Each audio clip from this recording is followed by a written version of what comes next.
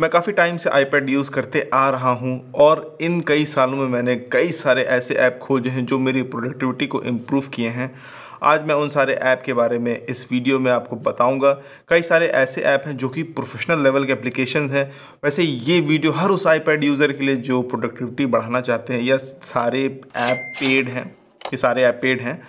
इन app के ज़रिए आप कुछ ऐसे काम कर सकते हो जिसके लिए आपको पीसी या लैपटॉप की ज़रूरत पड़ती है।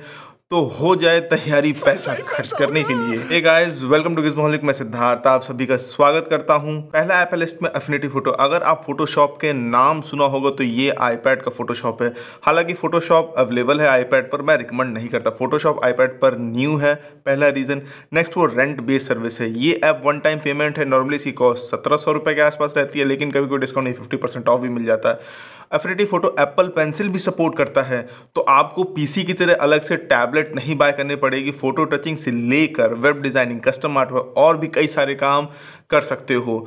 मैं एफिनिटी फ़ोटो को अपने थंबनेल डिज़ाइन करने के लिए यूज़ करता हूँ। जैसे आप इस का थंबनेल देखो वो डिज़ाइन किया हुआ रहेगा। आईपैड पर वर्क करना इतना आसान और इतना कंफर्टेबल है यार, कुछ कहने को नहीं। एफिनिटी डिज़ाइनर भी एफिनिटी लाइनअप की ऐप है। ये एडोब इलिस्ट्रेटर की रिप्लेसमेंट है आईपैड पर। ये ऐप उन आर्टिस्ट के लिए है जिनको वेक्टर डिज़ाइन करना हो। इसमें वेक्टर आर्ट वर्क जैसे लोगो डिज़ाइनिंग, वेब डिज़ाइनिंग जैसे काम आराम से किए जा सकते हैं। वेक्टर डिज़ाइन करना काफ़ी आसान हो जाता है अगर आपके पास एप्पल पेंसिल हो। इस ऐप की भी कीमत लगभग सत्रह सौ रुपये है, लेकिन ये भी ऑफ़ में आपको मिल जाता है।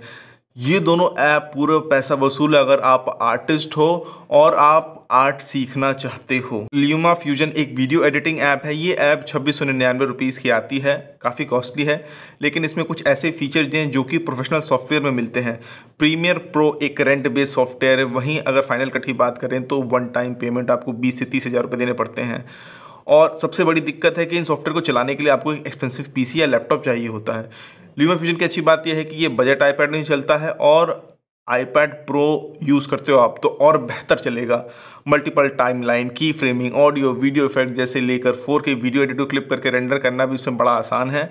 तो ये एक बहुत ही अच्छी ऐप है। अगर आप आईपैड पर वीडियो एडिटिंग करना चाहते हो तो इससे बेटर ऑप्शन आपको नहीं मिलेगा भी ये एप्लीकेशन तो यार मेरी दिल जीत ली। ये ऐप उनके लिए है जिनको आर्ट डिज़ाइन को या वो आर्ट स्टूडेंट है या वो वो प्रोफेशनल आर्टिस्ट है जिनको डिजिटल आर्ट वर्क डिज़ाइन करना होता है रेगुलर बेसिस पे। मैं कुछ दिन पहले ड्राइंग शुरू किया और मुझे काफ़ी मदद मिल रही है इस ऐप को यूज़ करके अच्छे अच्छे फीचर इसमें दिए हैं। इस ऐप में इतनी कम डिस्ट्रैक्शन है कि आपको ड्राइंग करने में काफ़ी फोकस रहेगा, साइड में आपको आइकॉन नहीं दिखेंगे। लेयरिंग जैसे फीचर से लेकर वीडियो को ब्रेक करने में लेयर की तरह ये सारे फीचर दिए हैं। तो मैं डेफिनेटली इस ऐप को रिकमेंड करूँगा। अगर आप आर्टिस्ट हो और आप मतलब भैया आर्ट डिज़ाइन करते हो या बनाते, ड्राइंग करते हो तो definitely this app is for you. कहीं से भी इसको मिस मत करना यार। तुम लोग अब एक ऐसे ऐप की बात करेंगे जो नोट लिखने के काम आता है। ये ऐप सुनने में काफ़ी सिंपल लगता है, लेकिन ऐसा नहीं है। एप्पल पेंसिल का सपोर्ट दिया है नोटेबिलिटी में, जिसको यूज़ करके पेपर और पेन स्टाइल में आप आईपैड पर लिख सकते हो। किसी भी वेब लिंक को इस ऐप में इमेज की तरह यूज़ किया जा सकता है और बाद में उसको एडिट भी किया जा सकता है। इस ऐप में आराम से कोई भी लिखी हुई नोट को खोजा जा सकता है। इस ऐप के सर्च फीचर को यूज़ करके। हैंड रिटर्न नोट को ईजिली प्रोफेशनल रिटर्न डॉक्यूमेंट में भी कन्वर्ट किया जा सकता है।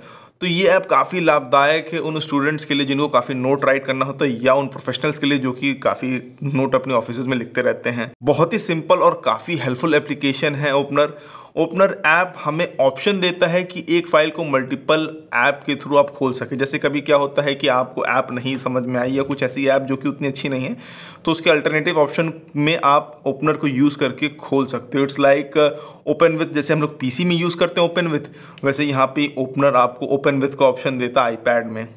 तो ये काफ़ी सिंपल ऐप है ज़्यादा कुछ में है नहीं लेकिन काफ़ी इंटरेस्टिंग ऐप है तो आप डेफिनेटली इसको भी ट्राई कर सकते हो।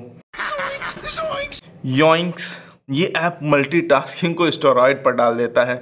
मल्टीटास्किंग आईपैड में पहले ही से ही काफ़ी बेहतर हो चुकी है, लेकिन अभी भी काफ़ी लिमिटेड है मल्टीटास्किंग मैं कहता हूँ पीसी को कंपेयर किया जाए इससे तो क्योंकि छोटी स्क्रीन होने से कई सारे एप्लीकेशन एक साथ इसमें रन नहीं कर सकते हैं। तो इस तरह की परिस्थितियाँ में योइंग्स ऐप काफ़ी हेल्पफुल है। योइंग्स ऐप मल्टीटास्किंग को और इवॉल्व कर देता है। जैसे कभी आप कुछ रिसर्च कर रहे हो वेब ब्राउज़र या किसी ऐप पर तो बार बार आपको ऐप स्विचिंग करनी पड़ती है, किसी भी फ़ाइल को कट कॉपी पेस्ट करने के लिए। इस परिस्थिति में योइंग्स में सेव कर सकते हो, कोई भी कंटेंट जैसे डॉक्यूमेंट पिक्चर वीडियो कोई भी फ़ाइल टाइप और बाद में पेस्ट कर सकते हो सपोर्टेड ऐप में। तो बार बार एप्लीकेशन स्विच करने की झंझट से मुक्ति मिल जाएगी अगर आप योइंग्स पाए करते हो। तो ये सारे ऐप्स मेरे लिए पूरे पैसे वसूल मैं इनको यूज़ करता हूँ डेली बेसिस पर, मुझे काफ़ी फ़ायदा मिलता है। तो इस वीडियो को यही समाप्त करते अगर कुछ पूछना हो तो बेझिझक यार कमेंट में लिखना शुरू कर दो यार। मैं हर सवालों का जवाब देने की पूरी कोशिश करूँगा। अगर वीडियो पसंद है तो हज़ार बार लाइक दबाओ यार और शेयर कर दो। दबा दो कि मतलब हर आईपैड यूज़र के घर में ये वीडियो पहुँच जाए और उनको यार इस अगर यूज़फुल लगा हो तो उनको भी काम आ जाए। बाकी मैं तो आप लोगों के लिए ऐसे वीडियो बनाते रहूँगा। चैनल पर नए हैं, सब्सक्राइब करना मत भूलना और घंटी भी हिला देना जिससे कि भाई अगली बार कोई मैं वीडियो बनाता हूँ टेक रिलेटेड तो आपको मिल सके। तो जल्दी मिलते हैं अगले टेक वीडियो में। नमस्कार दोस्तों।